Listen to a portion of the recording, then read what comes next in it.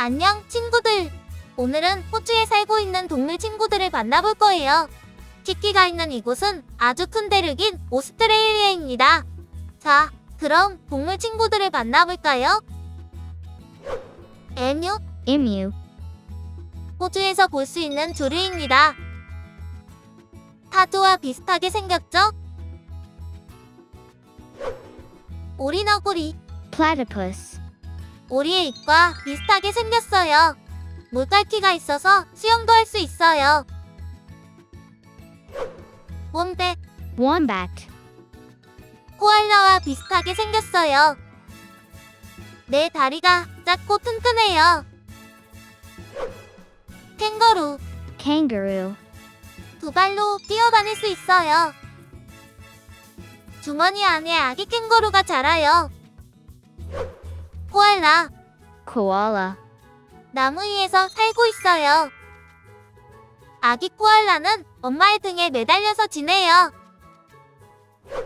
커카, quokka, 작은 몸집을 가지고 있어요. 귀여운 얼굴로 친근한 성격의 친구예요. 슈가 글라이더, sugar glider, 하늘을 날아다닐 수 있는 친구예요. 옆구리에 하늘을 날 수 있는 막이 있어요. 호주의 바다에서는 어떤 동물 친구들이 살아가고 있을까요? 바다 속이에요. 듀공, dugong, 눈이 작고 작은 지느러미가 특징이에요. 길이는 3m 정도 돼요. 폭등고래, humpback whale, 아주 큰 몸집을 가지고 있어요. 등 위에 흰색 무늬가 특징입니다.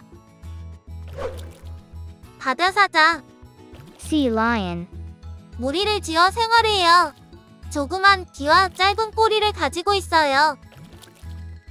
폭등고래, 바다사자, 듀공, 슈가글라이더, 에뮤,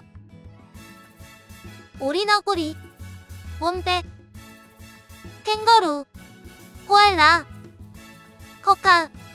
이렇게 호주에는 다양한 동물들을 볼 수 있었어요. 키키는 친구들과 함께 동물 친구들을 만나서 즐거웠어요. 다음에도 키키와 함께 탐험을 떠나봐요. 안녕. 키즈하이크